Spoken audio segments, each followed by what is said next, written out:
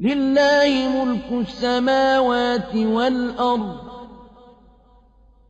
يخلق ما يشاء يهب لمن يشاء إناثا ويهب لمن يشاء الذكور.